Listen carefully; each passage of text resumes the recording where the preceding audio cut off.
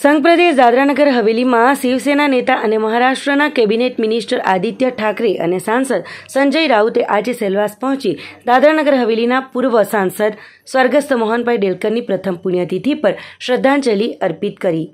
ડેલકર પરિવારના સાયલી ફાર્મ પર આયોજિત પ્રથમ પુણ્યતિથિ કાર્યક્રમમાં આદિત્ય ઠાકરે અને સંજય રાઉત બપોરે અગિયાર ચાલીસ વાગે પહોંચ્યા. ત્યાં ઉપસ્થિત દાદરાનગર હવેલી, દમણદીવ શિવસેના પ્રમુખ અને સ્વર્ગસ્થ મોહનભાઈ ડેલકરના પુત્ર અભિનવ ડેલકર બંને નેતાઓને હાથ મિલાવી તેમનું સ્વાગત કર્યું. મોહનભાઈ ડેલકરને શ્રદ્ધાંજલિ આપ્યા પછી સંક્ષિપ્ત સંબોધનમાં આદિત્ય ઠાકરે અને સંજય રાઉતે ડેલકર પરિવારના સાથે હોવાનું જણાવ્યું. આદિત્ય ઠાકરે કહ્યું કે, અમે ડેલકર પરિવારના સાથે છીએ. ડેલકર પરિવારને ન્યાય અપાવવાનો અમારો પ્રયાસ જારી છે. સંજય રાઉતે જણાવ્યું કે કલાબેન નેલકરની જીતથી અમારી તાકાત વધી છે. શિવસેના ન્યાય અપાવવા સુધી ચેનથી બેસવાના નથી. અભિનવ ડેલકરે કહ્યું કે શિવસેના અમને ઇન્સાફ આપવાનો પૂરો પ્રયાસ કરી રહી છે. એથી અમને સાહસ મળ્યો છે અને પૂરો ભરોસો છે કે અમારા પિતાશ્રીને ન્યાય જરૂર મળશે. અભિનવ ડેલકરે મીડિયા સાથે વાતચીતમાં કહ્યું કે જો અમને શિવસેનાનો સાથ પહેલાં મળ્યો હોત તો આજે અમારા પિતાશ્રી અમારી સાથે હોત. ઠાકરે અને ડેલકર પરિવાર જો પહેલાં સાથે રહ્યા હોત, તો અમારા પિતાજીને એવું બલિદાન નહીં આપવું પડ્યું હોત. એના પહેલાં ડેલકર પરિવારે સ્વર્ગસ્થ મોહનભાઈ ડેલકરને શ્રદ્ધાંજલિ આપી ઉપસ્થિત સેંકડો લોકોએ પણ સ્વર્ગસ્થ મોહનભાઈ ને શ્રદ્ધાસુમન અર્પિત કર્યા હતા. શ્રદ્ધાંજલિ કાર્યક્રમમાં ડેલકર પરિવારના સહયોગી કૌશિલ શાહ, ઇન્દ્રજીત પરમાર સહિત મોટી સંખ્યામાં સમર્થકો ઉપસ્થિત રહ્યા હતા. अस्माद्यज्ञाचक्रे वायव्यानारण्य समानि यन्दिरे झन्दसमाद्याजो समादजायन्त जे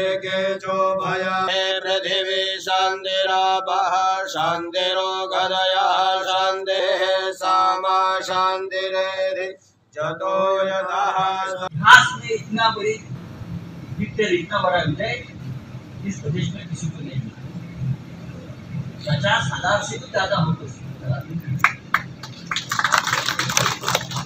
ये तो उस बलिदान की भी कीमत रही। जिस कारणों से मोहन भाई ने बलिदान किया। वो एक अंदर से लोगों के मन के अंदर से जो अंगार है। वो भी हमने देखा।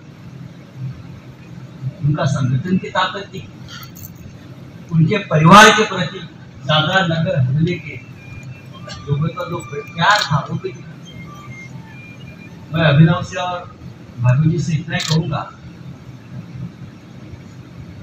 कि हमेशा अपना नाता जो है इसलिए रहेगा।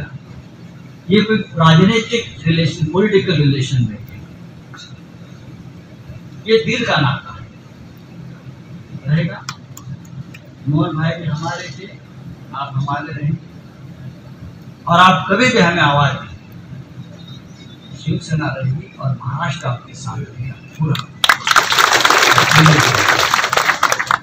जैसे मैंने पहले भी कहा है और सभाओं में भी जब बाद में भी। ये कोई राजनीतिक रिश्ता नहीं है। और जब परिवार हमें बुलाते रहेंगे हम आएँगे साथ में काम लेके जाना है न्याय के लिए लड़ना है। जैसे मोहन भाई एक निडर और लीडर दोनों थे वैसे ही यहाँ की जनता के लिए आवाज़ बुलंद करना इसलिए आज श्रद्धांजलि अर्पित करने के लिए आए? कि ये न्याय आँखों से मारा, कैमरा जो चुनाव का था वो खुद को न्याय जनता ने दिया है। अभी आगे ये काम आगे लेके जाना है। आज सिर्फ़ श्रद्धांजलि के हैं। यहाँ वैसे कोई राजनीतिक बात नहीं करनी है आज जी। के लिए आए हैं तो उनकी यादों में जैसे उन्होंने की जनता सभी को आगे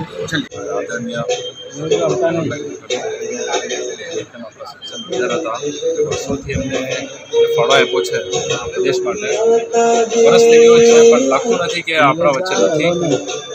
આશીર્વાદ યાદગીરી હંમેશા આપણા વચ્ચે રહેશે. આપણા દિલમાં રહેશે. પ્રદેશના દરેક વ્યક્તિને એટલી ખબર છે કે એમનો ફાળો આપણા પ્રદેશમાં કેવો પક્ષમાં હોય કે વિરોધવાળા લોકો હંમેશા જ્યારે આ બાવીસ ફેબ્રુઆરી બે હજાર એકવીસમાં બનાવ બહેનો ત્યારબાદ પણ દરેક લોકો કહેતા છે એમ એક ફાળો મોટો એ આજ સુધી થયું છે. છેલ્લા સત્તર વર્ષમાં.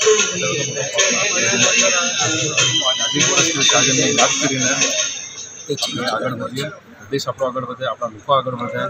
અને એમની વિચારધારા લઈને અહીંયા અમારું પરિવાર કે અમારું સંગઠન નહીં અને દરેક નગર હવેલીના લોકોને હું અ, વિનંતી કરીશ એમને યાદ કરીને આજે આપણે એક નવી શરૂઆત કરીએ પ્રદેશને એક સારા માર્ગે લઈ જાય હું કોઈ- આજે કોઈ પોલિટિકલી કે એની કોઈ વાત નહીં કરીશ એક વિચારધારા જે મારા પિતાજીની હતી પ્રદેશ પ્રત્યે એ જ વિચારધારાની આજે આપણે ચર્ચા કરશું એમને યાદ કરશું અને આજે એક વર્ષ એમનું થયું છે આશીર્વાદ આપણે સાથે છે લોકો સાથે છે અને પ્રદેશ પર છે तो श्रद्धा के पुष्प को એ हम આપણે લઈને सभी આગળ વધશું અને આપણા यहाँ પ્રદેશને સારો रखते जा રાખીશું. रहे हैं इनके अंदर સ્થિતિ સાથ સહયોગ છે સરકારનું છે जो जो वैल्यूज કોર્ટમાં મેટર છે उनके અને अंदर કોરોનાના की લીધે થોડું ડિલે शक्तियों ઘણું को થયું છે दिखाई दिया અમારું પરિવાર સાથે સાથે એમણે જોયું એટલે કે સાહેબ સાહેબને जागरूक करके બે વ્યક્તિ આવીને એમને પર્સનલી હાથ પકડીને કીધું કે ન્યાય મિલના चाहिए हिम्मतवान જ્યાં જે સરકારના ત્યાં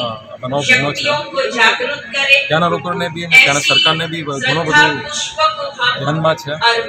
કેવી રીતે ઇન્ક્વાયરી ચાલે છે કેવી રીતે કોર્ટમાં આપણે પુટક પહેર્યું છે. એક જ વસ્તુ કહીશ થોડું આપણે રાહ જોશું થોડું આપણે પેશન્સ રાખશું. ન્યાય આપણે ચોક્કસ મળશે. ને એ ન્યાય માટે આપણા આશીર્વાદી મારા પિતાજીના છે. રીતે સાહેબે કીધું ત્યાં એનો ન્યાય આપણે પ્રદેશને મળ્યો છે આપણે અમારા પરિવારને મળ્યો છે. આપણે ઇલેક્શન જીતીને આપણે સાબિત કર્યો છે. એના કરતાં એના કરતાં મોટો ન્યાય આપણને જલ્દથી જલ્દ મળે. અમારી બી કોશિશ છે. અને ભારત સરકારથી ઘણી આશા છે એમના પર વિશ્વાસ છે કીધું તેમ આજે આપણે બધી ચર્ચા થોડો આપણે રાહ જોશું થોડો સમય આવો તો તમારા સામે બધીને ખુલ્લાવાર બધી બધી આપણે જે પણ ઇન્વેસ્ટિગેશન છે જે બી ડેવલપમેન્ટ છે હું તમારા સમક્ષ રાખીશ બધે સમક્ષ રાખીશ અને લોકોના વચ્ચે હું લાવીશ થોડું મેં તમારા માધ્યમથી મેં રિક્વેસ્ટ કરીશ ન્યાય મળશે તમને બી સ્થિતિ ખબર છે કોરોનાને અને કોર્ટ કેવી રીતે હમણાં કોરોનાને લીધે સ્લો ચાલે છે પણ તો પણ હું આઈસીઆઈટીનું ઘણું એપ્રિશિએટ કરીશ કે આવા પરિસ્થિતિમાં પણ એ લોકો ઇન્વેસ્ટિગેશન થોડું ફાસ્ટ કર્યું છે सरकार तरफ़ से भी हमें घुने आदेश है इन्वेस्टिगेशन फास्ट करो। हमारे कई जल्द से जल्द हमारे कई निर्णय आवे जल्द से जल्द हम आपको पॉजिटिव